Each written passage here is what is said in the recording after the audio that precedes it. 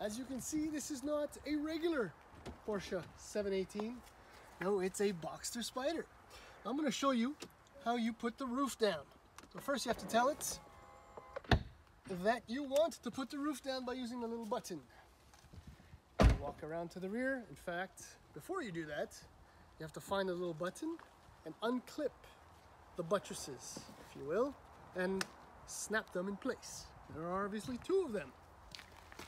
Do that twice. You have to look with your thumbs for the little button, unclips, fold, and clip. And you lift the trunk lid nice and gentle. Hold it up, walk back around. This can be done one person, as you can see. And then you gently fold back and guide the roof itself down. Make sure it's nice and flat. Hello. We're good. And then down she goes. I always use two hands just to make sure that everything lines up perfectly. And that's it. Final step. Fold those back on both sides. And then you're good to go. Now that the roof is down, we can properly admire what is undoubtedly one of the most attractive, if not the most attractive drop top convertible car you can buy on the market today in the world. Now, the base 2020 Porsche 718 Boxster starts at $66,800 in Canada, $62,000 in the US. It looks almost exactly like this. I've driven that car and it is quite amusing with the flat four two liter turbo. Um, but uh, the Spyder is on a different plane as far as power is concerned. Uh, base price for the car in Canada is $110,500 in the US. It's $97,300. Now, my car, as it sits right here, is not obviously without options. Um, one of them is I might be one of the most regal looking blues you can buy. That is gentian blue. You will have seen that color on the new 992 911. Um, it works wonderfully well on the 7 to 18 Spyder. So that's one option. The interior is leather and Alcantara. With the top down, I can actually show it to you now. Oh, it's got LED dynamic lighting in here. See, look, there's your mix leather Alcantara. Is that not beautiful? Uh, it's got the adaptive sport seats, which you actually just got to see right now. I mean, there isn't really that usual tour that I would do that can be done with the Boxster. It also has navigation system anyways. Uh, all said and done, just shy of $130,000. Now, what do you need to know about a Boxster Spyder that you probably already know? Well, it's got a trunk where I showed you the roof goes. Uh, but when you do open it up behind the engine, because that's where the engine is, uh, and I'll tell you a little bit more about that in a few moments, uh, that's 120 liters of very usable, very accessible uh, boot space. Now, I know I said I use both hands, but now one hand is holding the camera, so I did that as cleanly as I could. And then you have the front. Yes, the front, which reveals 150 liters of boot space. Now, no, that's not mine. But this gives you an idea, uh, say you're moving a friend and you really want to take your time, you can take one of these 80 some odd liter bins, fill it up, and be a very good neighbor with your Porsche Boxster. You see, you don't need a pickup truck to help move your friends. Uh, but I know that was kind of silly. How pretty is that? Oh, I'm ruining that shot. I'm sorry. There you go. That is very pretty. And to close it, always remember, just push on the logo. Don't push on the bodywork. Yeah, you know, there are a lot of other things to say about this car, but uh, obviously the drive portion is what really matters. Um, so just before I get in, just gonna show you, or I drive off, I should say, I'm gonna show you.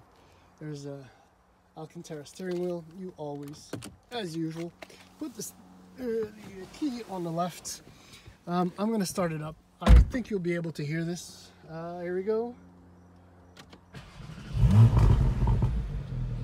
Yeah, that's the uh, four liter naturally aspirated, aspirated flat six at work. It's your standard screen, very intuitive, works well. Uh, the shifter, it's it's lovely. Uh, HVAC, your main menus. Um, you might notice there's a sport exhaust. There's your spoiler. Danger, danger, danger. Oh yes, go fast. And no, no, no, no, no. But there are no sport buttons. In fact, there are no buttons on the steering wheel at all. I've already said way too much. Uh, let's take this for a spin. yes, the smile on my face pretty much confirms what everyone knows about the Porsche 718 Boxster Spyder, and that is that it is uh, a difficult to match, supremely competent driver's car. Uh, part of that is without a doubt what makes this car looks looks so good, just sitting still, and that's the standard uh, Porsche Active Suspension Suspension Management System, the PASM, which drops the car by all of 30 millimeters. Essentially, the Boxster Spyder is slammed. With the adjustable dampers, obviously it also means that this thing handles, it stays flat, it's so responsive, and even when you give it a little bit more power, as you roll around a, a nice long curve like that, it just sits, sits, it just grips and grips.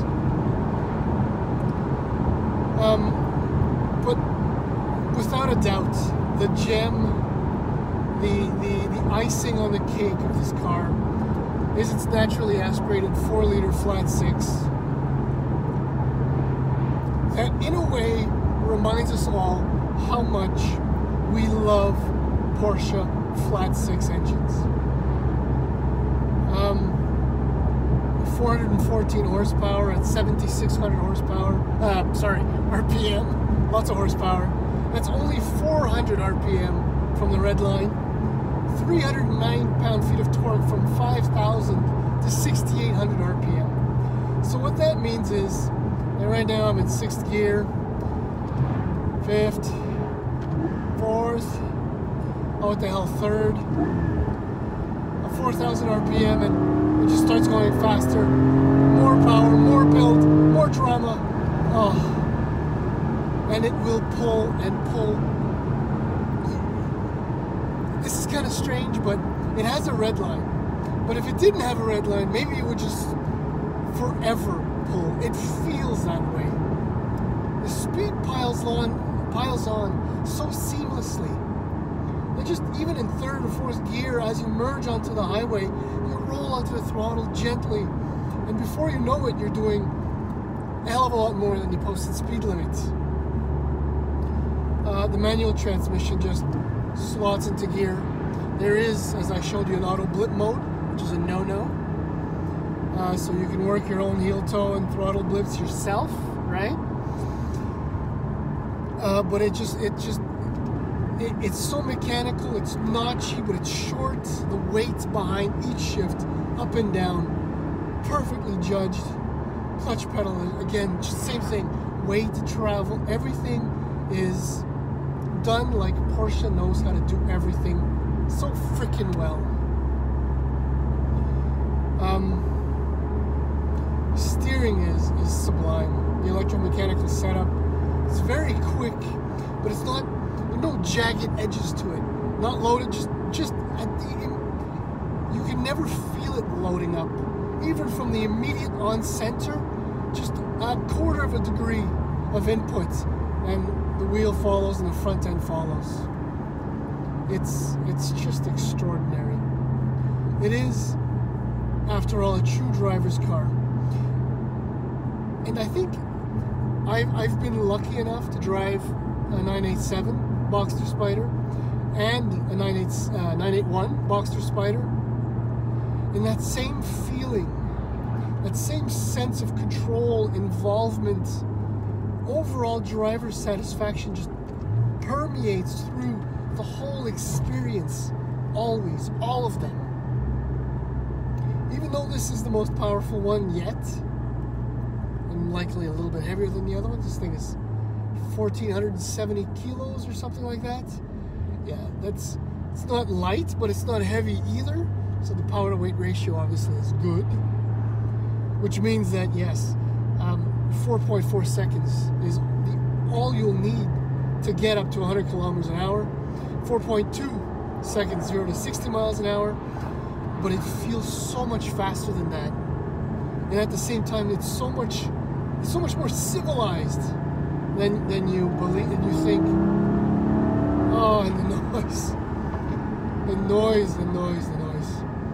I mean, I, I love the flat fours uh, in the 718s. I'm also a fan of the flat sixes and the 911s, but this one is kind of a.